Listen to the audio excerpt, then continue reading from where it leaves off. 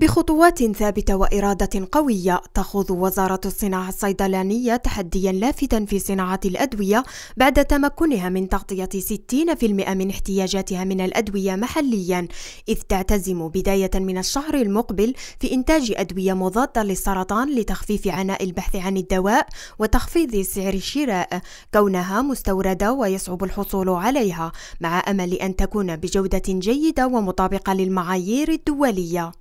أنه سيقلل من جهة من أسعار هذه الأدوية التي تعتبر باهظة لأن معظمها مستورد إلى حد الآن ويتطلب تكنولوجيا جد دقيقة.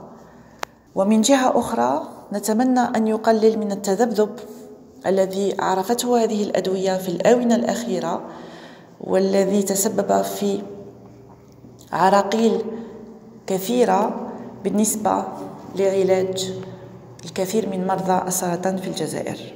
فيما يخص الجودة عدة مخابر هنا في الجزائر تصنع أدوية عديدة في مجالات مختلفة والجودة إلى حد الآن تعتبر جيدة. نتمنى أن يكون ذلك بالنسبة لأدوية مرضى السرطان وأن تكون مطابقة للمعايير الدولية وعندنا الكفاءات الكافية لتحقيق ذلك. ولإنجاح الإنتاج المحلي وتغطية احتياجات السوق الجزائرية وجب العمل بشراكة مع القطاع الخاص.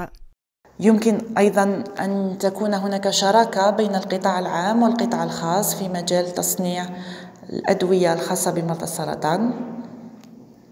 وكل هذا في صالح المرضى الإنتاج المحلي لأدوية السرطان خطوة لكبح الاستيراد ودفع عجلة الاقتصاد الوطني مع تخفيف معاناة المرضى وتسهيل مهمة الأطباء في العلاج.